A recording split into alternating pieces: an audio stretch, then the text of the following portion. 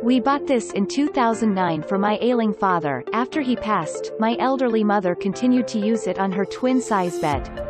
It has lasted all this time, almost 10 years and still going strong. It is very sturdy when properly installed.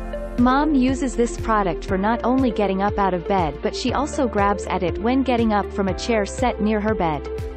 She feels very confident about its ability to sustain her weight. Sliding it under the mattress was a bit more challenging but so worth it as it has just made life so much more safe and easier.